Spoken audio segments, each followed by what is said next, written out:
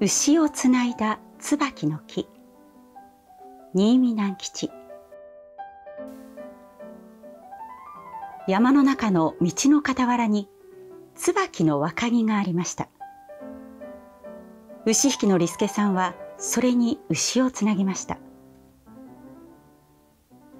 人力引きの海蔵さんも椿の根元へ人力車を置きました。人力車は牛ではないからつないでおかなくってもよかったのです。そこで利助さんと海蔵さんは水を飲みに山の中に入って行きました。道から一丁ばかり山に分け入ったところに清くて冷たい清水がいつも湧いていたのであります。二人は代わりばんこに泉の縁のシダやゼンマイの上に両手をつき腹ばいになり冷たい水の匂いを嗅ぎながら鹿のように水を飲みました。腹の中がごぼごぼ言うほど飲みました。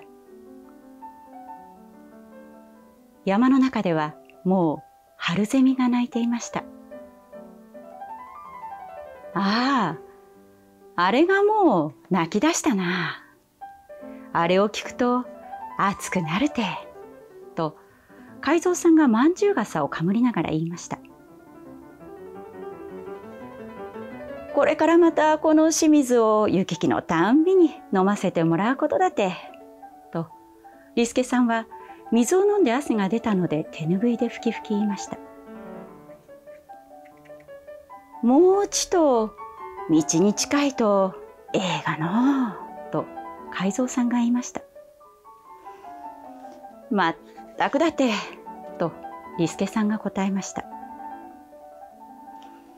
ここの水を飲んだ後では誰でもそんなことを挨拶のように言い合うのが常でした。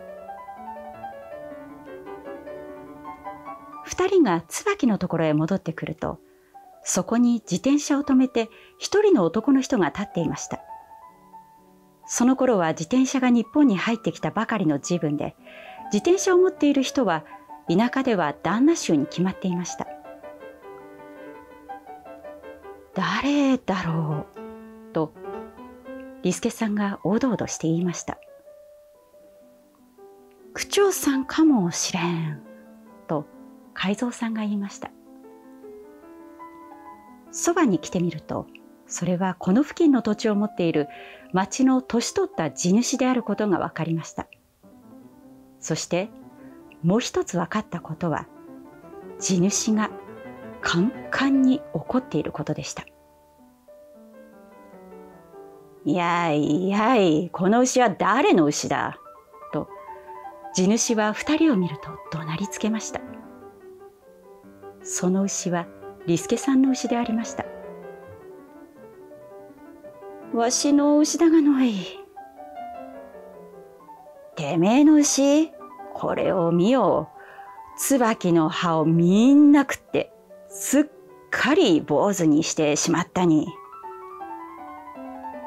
二人が牛をつないだ椿の木を見るとそれは自転車を持った地主が言った通りでありました。若い椿の柔らかい葉はすっかりむしり取られてみすぼらしい杖のようなものが立っていただけでした。リスケさんはとんだことになったと思って顔を真っ赤にしながら慌てて木から綱を解きました。そして申し訳に牛の首玉を手綱でぴっしりと打ちました。しかしそんなことぐらいでは地主は許してはくれませんでした。地主は大人のリスケさんをまるで子供を叱るように散々叱り飛ばしました。そして自転車のサドルをパンパン叩きながらこう言いました。さあ、何でもかんでも元のように歯をつけて示せ。これは無理なことでありました。そこで人力引きの海蔵さんも、まんじゅう傘を脱いで、リスケさんのために謝ってやりました。まあまあ、今度だけは蚊にしてやっとくんやす。リスケさんも、まさか牛が椿を食ってしまうとは知らずにつないだことだで。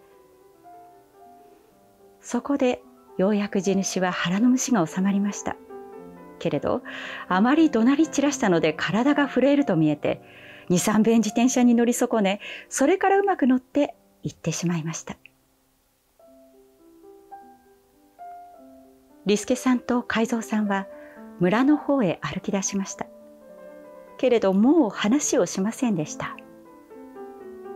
大人が大人に叱り飛ばされるというのは情けないことだろうと人力引きの海蔵さんはリスケさんの気持ちを汲んでやりました。もうちっとあの清水が道に近いとええだがのうととうとう海蔵さんが言いました。まったくだてとリスケさんが答えました。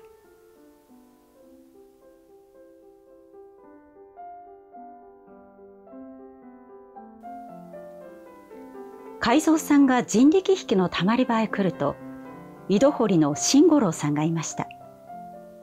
人力引きのたまり場といっても村の街道に沿った駄菓子屋のことでありました。そこで井戸掘りの新五郎さんは油菓子をかじりながらつまらぬ話を大きな声でしていました。井戸の底から外にいる人に向かって話をするために井戸新さんの声が大きくなってしまったのであります。井戸ってもな、一体いくらくらいで掘れるもんかい、井戸新さ。と、海蔵さんは自分も駄菓子箱から油菓子を一本つまみ出しながら聞きました。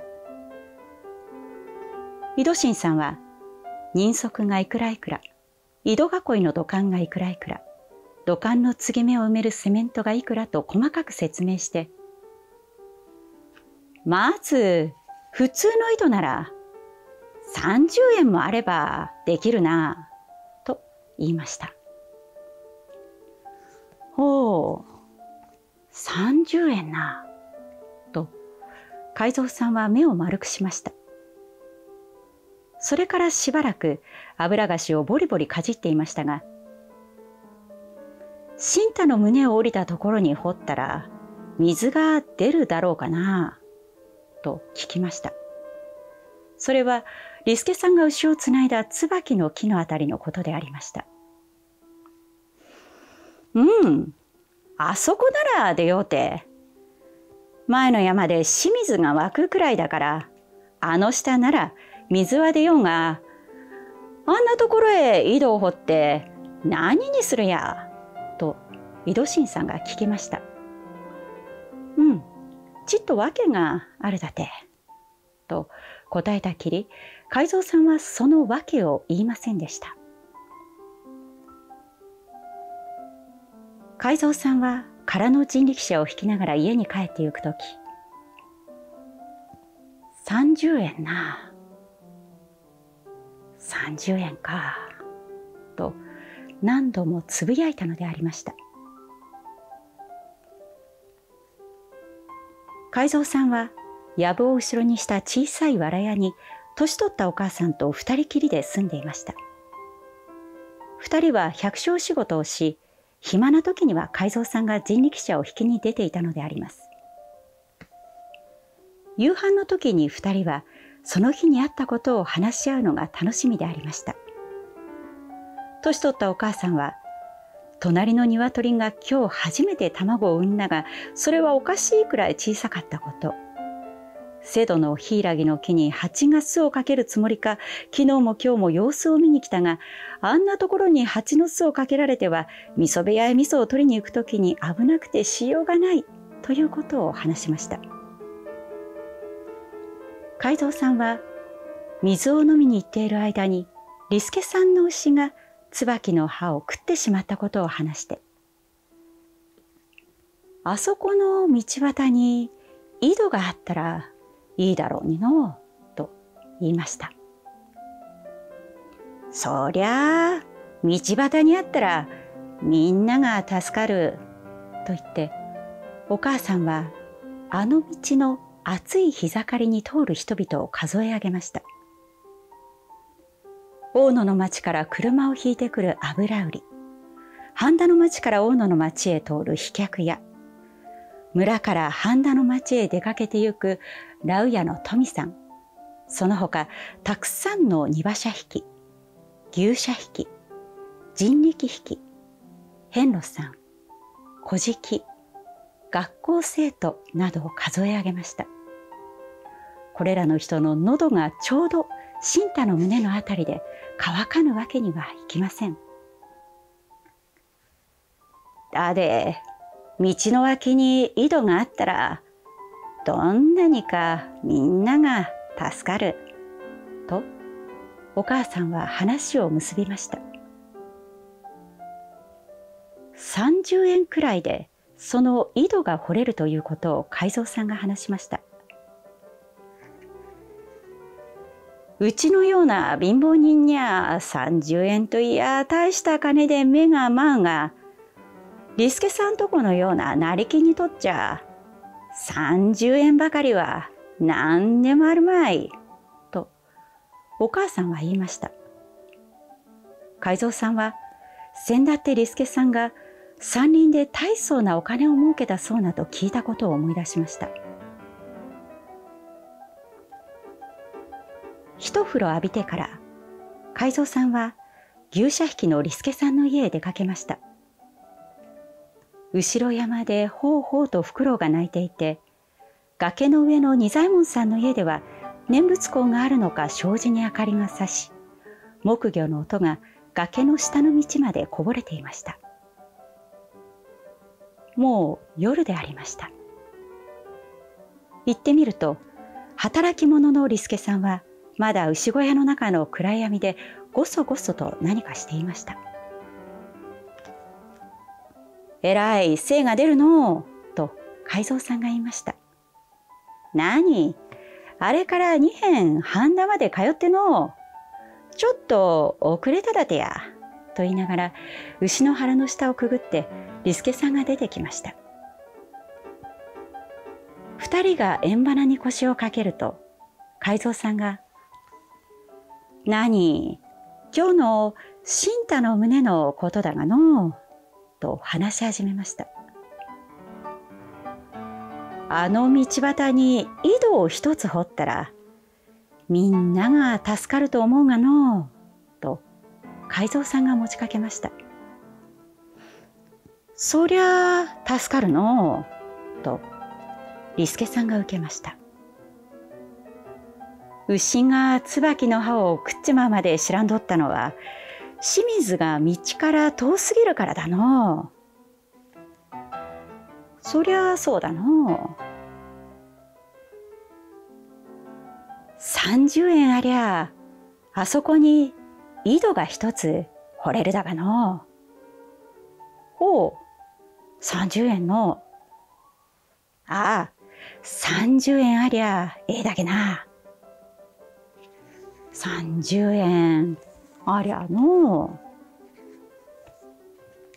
こんな風に言っても一向利助さんがこちらの心を汲み取ってくれないので海蔵さんははっきり言ってみました。それだけ、リスケさ、奮発してくれないかえ。聞けばお前、だいぶ山林で儲かったそうだが。リスケさんは今まで調子よく喋っていましたが、急に黙ってしまいました。そして自分のほっぺたをつねっていました。どうだい、リスケさ。と、海蔵さんはしばらくして答えを促しました。それでもリスケさんは岩のように黙っていました。どうやらこんな話はリスケさんには面白くなさそうでした。30円でできる芸ながのとまた海蔵さんが言いました。その30円をどうして俺が出すのかえ。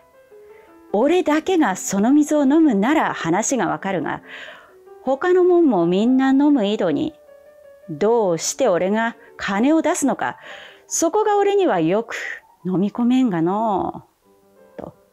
やがてリスケさんは言いました。海蔵さんは人々のためだということをいろいろと説きましたが、どうしてもリスケさんには飲み込めませんでした。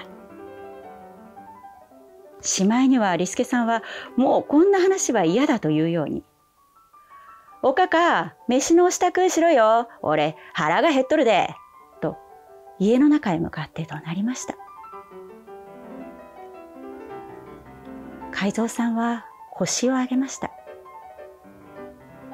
リスケさんが夜遅くまでせっせと働くのは自分だけのためだということがよく分かったのです。一人で夜道を歩きながら海蔵さんは思いました。こりゃあ人に頼っていちゃダメだ。自分の力でしなけりゃ。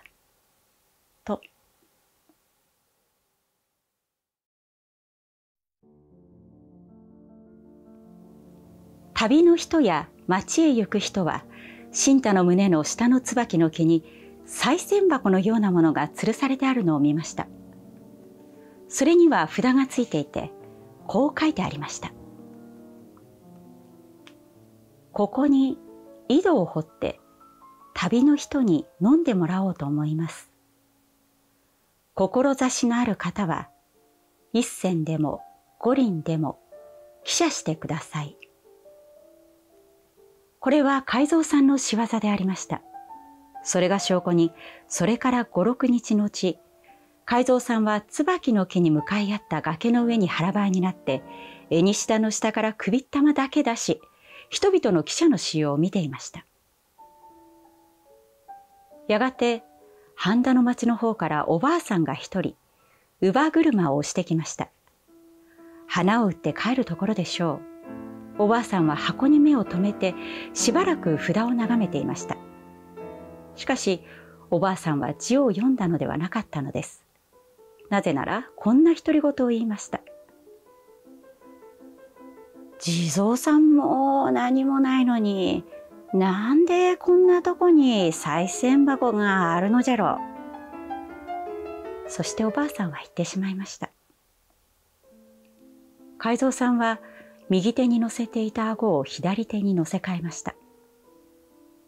今度は村の方から尻はしょりしたガニ股のおじいさんがやってきました。翔平さんのじいさんだ。あのじいさんは昔の人間でも字が読めるはずだ。と、海蔵さんはつぶやきました。おじいさんは箱に目を留めました。そして、なになにと言いながら腰を伸ばして札を呼び始めました。読んでしまうと、なるほど、ふふん、なるほど、とひどく感心しました。そして懐の中を探り出したので、これは記者してくれるなと思っていると、取り出したのは古臭いタバコ入れでした。おじいさんは椿の根元で一服吸って行ってしまいました。海蔵さんは起き上がって椿の木の方へ滑り降りました。箱を手に取って振ってみました。何の手応えもないのでした。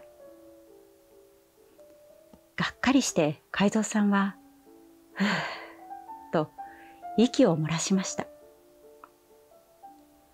結局人は頼りにならんと分かった。いよいよこうなったら、俺一人の力でやり遂げるのだ、と言いながら、海蔵さんは新太の胸を登っていきました。